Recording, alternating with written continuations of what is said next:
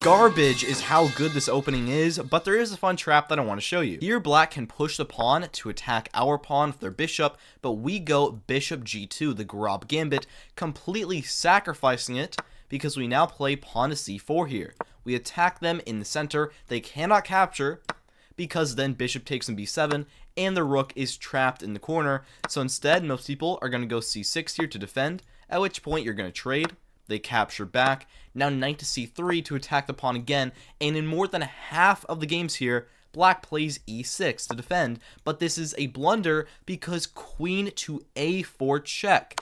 Attacking their king and their bishop, they cannot defend both. After they block, we capture, we're now up a piece with a better position.